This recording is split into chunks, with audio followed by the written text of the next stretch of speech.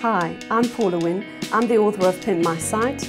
Our learning objectives today will be what are long tails, how to define them, where to use them, and why you should use them.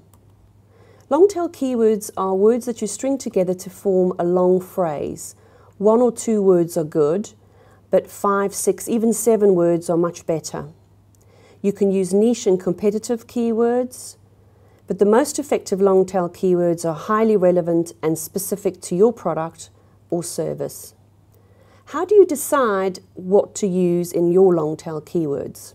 For example, in my business, Remote Employment, which is a job board focusing on home based jobs, our main keywords are very competitive, working from home or working at home. So, how can we go about optimizing words like working from home with another keyword, maybe jobs in front or behind our main keywords?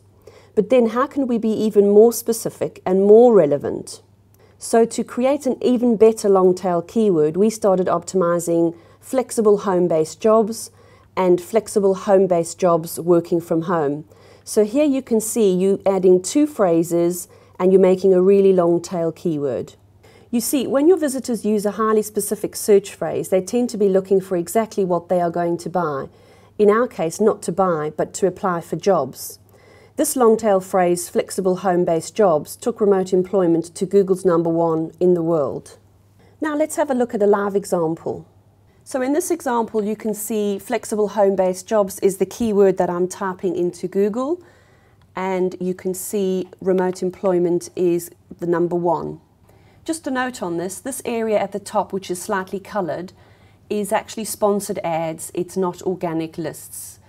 If you want to know more about this, read chapter one of Pimp My Site and I expand a lot more on organic and sponsored searches in Google.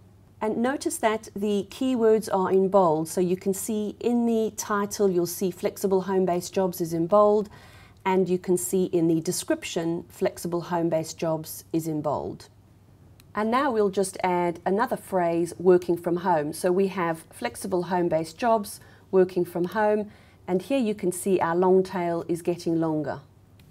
Here you can see remote employment is number one, and you can see work from home, flexible jobs, home-based jobs in the title. You can see the keywords in the bold letters in the description. Let's take a look at another example.